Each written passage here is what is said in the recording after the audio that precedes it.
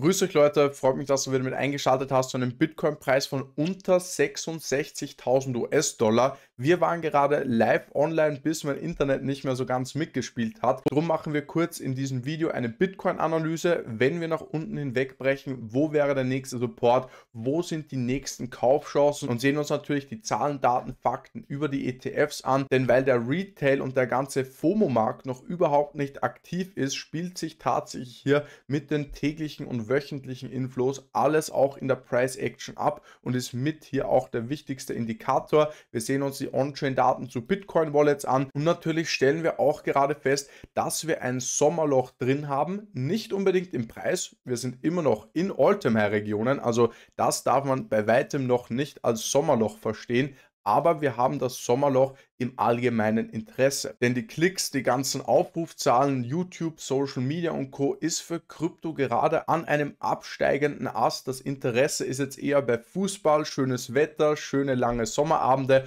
und das ist natürlich ganz verständlich und ist auch immer im Sommer so auf allen Märkten. Und da möchte ich mich natürlich wie immer bei euch bedanken. Schaut euch mal die Aufrufzahlen seit den letzten 365 Tagen an. Ein extrem heftiges All-Time-High von über 30.000 Klicks pro Tag. So heftig ist auf diesem Kanal noch nie irgendwie geklickt worden und alleine im vergangenen Jahr über 1,4 Millionen Aufrufe. Dementsprechend den größten Dank an euch und ich lade auch dich wie immer dazu ein, unter den ersten 18.000 Abonnenten mit dabei zu sein und natürlich auch gerne eine Bewertung dalassen. Ist für den Algorithmus natürlich immer das Allerwichtigste und wir starten direkt in die Bitcoin-Preisanalyse, denn wir haben jetzt hier in dieser Seitwärtsbewegung um knapp 2,6% das All-Time-High nicht erreicht und jetzt sind wir direkt mal in der Gegenbewegung und obwohl wir noch auf über 60.000 US-Dollar traden, sehen wir jetzt schon Berichte. Bitcoin Bullrun vorbei. Was spricht dafür? Was dagegen? Bitcoin Bullrun vorbei. Mimamo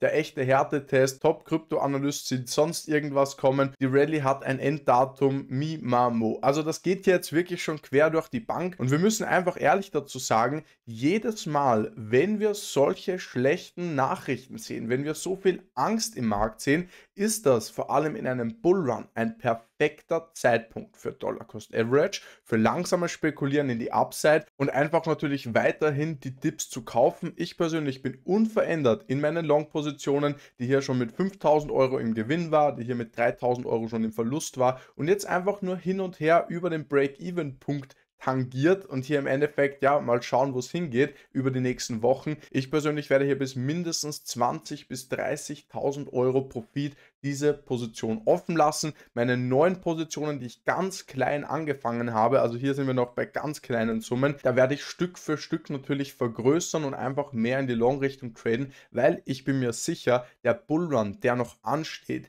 der könnte enorm werden. Ja, die Meme-Coins sind fast Top-Indikatoren, die extrem gestiegen sind und extreme Profite gebracht haben. Trotzdem denke ich mir, auch wenn es vielleicht ein bisschen länger dauert, als wir uns es jetzt gerne wünschen würden, dass wir in nicht allzu langer Zeit auf über 100.000 US-Dollar traden würden. Und dazu als Beispiel sehen wir uns jetzt mal die On-Chain-Daten an, denn wir sehen, dass jetzt die ETFs, alle 36 globalen ETFs, die mit Bitcoin handeln, die auf über eine Million Bitcoins under Management gekommen sind. Sprich, alle ETFs zusammen halten mehr Bitcoin als Satoshi Nakamoto. Dort konnte man das natürlich nachvollziehen. Die ersten Bitcoins, die gemeint wurden, gingen auf seine Wallets. Das waren nicht so wenige, sondern über eine Million Bitcoin eben roundabout. Und jetzt sind die ETFs nach nicht mal sechs Monaten nach dem Handelsstart auf genau diesen legendären Kontostand gekommen, haben in Summe einfach eine Million Bitcoin aufgekauft und das innerhalb von einem halben Jahr. Und in diesem halben Jahr sind wir wohlgemerkt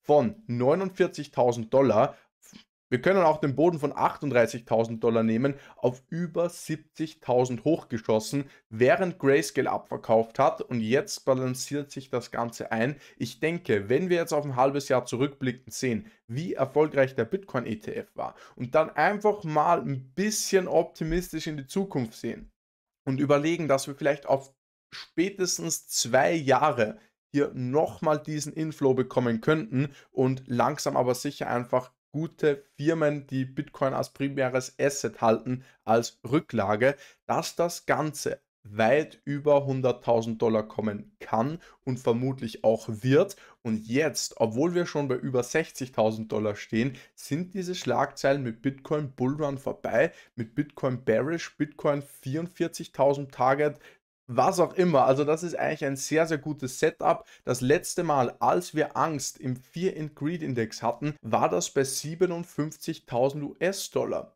ein super Einkaufspreis und ich bin mir auch sicher, dass wir hier, wenn wir auf die 60.000 Dollar zugehen oder nochmal kurz darunter stechen, hier wirklich saubere Entries bekommen, weil wir eben immer, wenn wir das All-Time High gnadenlos nach oben hin durchbrochen haben, erst recht den Bullrun gesehen haben. Die On-Chain-Metriken sehen gut aus und auch das Kleinanlegerverhalten, denn die Bitcoin-Adressen unter einem Bitcoin, die verkaufen gerade ab. Die Menge der Bitcoin-haltenden Wallets, die sinkt und sinkt und sinkt. Im Endeffekt auch bei den 1 bis 10 und auch bei den 1 bis 100 Bitcoins ist es nach unten gegangen. Logisch, wenn du da in diesen großen Bereich investierst, kannst du schon mal abverkaufen, kannst du schon mal Millionen an Profite nehmen und bist vielleicht auch sehr zufrieden mit Bitcoin. Aber gerade diese kleinen Wallets, wo es um Kleinanleger unter 100.000 geht, abverkaufen. Ich glaube, das ist eher das Panic Selling und die großen Wallets, die ETF-Zukäufe, Firmen-Wallets und und und, die sind hier absolut krass am Akkumulieren.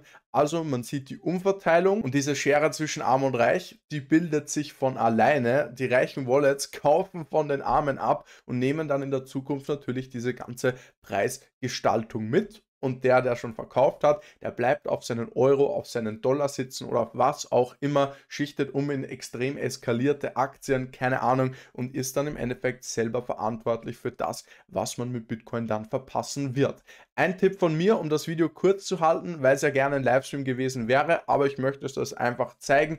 Ich persönlich, ich kaufe natürlich weiterhin in Tranchen Bitcoin mit zweier Hebel, mit 2,5er Hebel und ich möchte euch das hier zeigen. Ich habe euch gepostet meine Spot-Käufe und auch die Verkäufe nur in dieser Seitwärtsbewegung, wo nur diese paar Käufe mitgezogen worden sind, habe ich eben einen günstigen durchschnittlichen Kaufpreis und einen höheren Verkaufspreis und eigentlich immer noch das meiste an BTC, das ich hier halte. Sehr gute Sache, so kann man Profite machen. Was ich aber jetzt zusätzlich noch mache, ist auf jeden Fall bei den Altcoins, die jetzt schon, obwohl Bitcoin irgendwo ist und noch nicht die Welt erobert hat und trotzdem Altcoins teilweise in 2, 3, 4, 5x gemacht haben, dort verkaufe ich gerade aktiv und sortiere aus dem Portfolio aus. Ich habe einerseits den Casper Token hier beim Ausbruch und in den All-Time-High-Regionen jetzt komplett abverkauft. Ich bin auch hingegangen, ich habe jetzt auch überlegt, bei Toncoin Profite zu nehmen, wenn wir hier jetzt nicht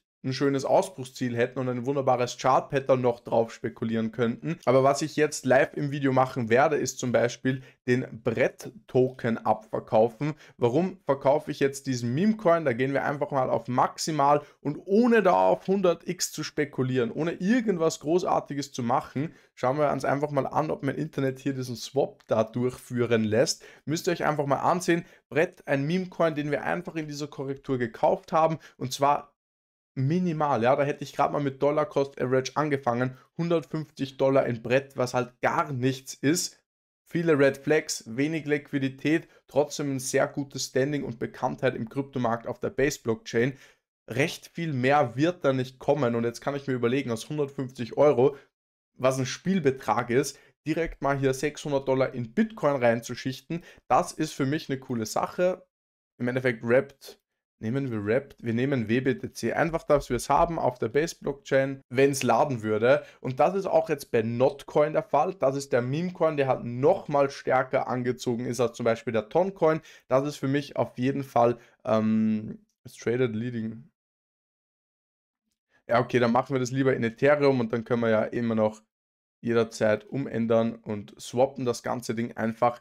Aber ja, das sind im Endeffekt Coins, die man jetzt schön im Profit verkaufen kann. Es gibt genug Karteileichen oder im Endeffekt Coins, die jetzt noch nicht so heftig performt haben, wo man einfach warten muss. Aber wenn wir hier schon ein 2, 3, 4, 5x auf dem Silbertablett angeboten wird, ich offiziell damit Bitcoin outperformt habe und jetzt einfach mehr davon kaufen kann, so finanziert man sich auf jeden Fall auch die Long-Positionen, Profite nehmen, wenn es denn möglich ist, sollte man hier definitiv durchführen. Und wenn dieser Swap successful war, müssen wir das jetzt auch hier in meinem Chart mitzubekommen. Meine kompletten Ein- und Ausstiege, die teile ich immer mit euch im Inner Circle. Da könnt ihr auch gerne mit der einzigen Webseite, die ich habe, gerne eure Infos rausziehen. DidiRandom.com ist wirklich die einzige Internetseite, die ich betreibe. Es gibt viele Fake-Accounts und da könnt ihr euch natürlich gerne schlau machen über unsere Inner Circle Telegram-Gruppe. Ist eine ganz coole Sache und hilft dir vor allem, wenn du im Anfängerbereich noch unterwegs bist.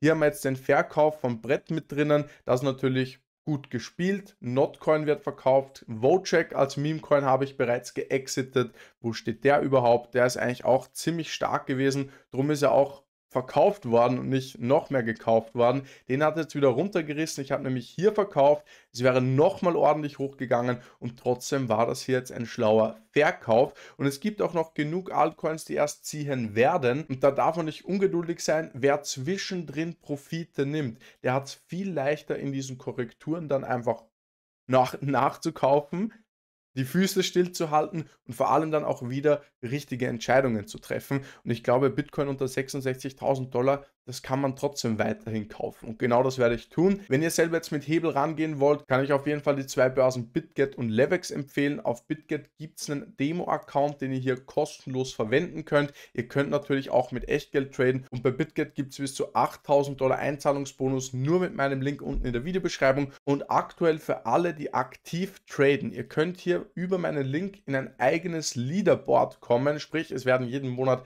Preise verlost für aktive Nutzer, sind im Endeffekt nichts anderes als Werbemaßnahmen, aber ihr könnt hier gerade relativ einfach noch mit relativ wenig Volumen in die Preispools kommen von mehreren hundert Dollar. Und es gibt alleine in diesem Monat 1500 Dollar nur für euch in unserer Community an Gesamt Preisen. Der Link zu Lavex ist unten in der Videobeschreibung. Wie immer, maximaler Ehrensupport, wenn ihr hier die Links nehmt. Freut mich natürlich wie immer und das finanziert auch immer die 50 Dollar Giveaways in den Livestream. Gerne beim nächsten Mal im Livestream dabei sein. Heute hat das Internet einfach nicht sein wollen. Wir sehen und hören uns aber auf jeden Fall im nächsten Video. Livestream, Telegram-Gruppe, YouTube-Kommentaren oder im Inner Circle. Ich wünsche euch wie immer was. Wir sehen und hören uns. Ciao, ciao.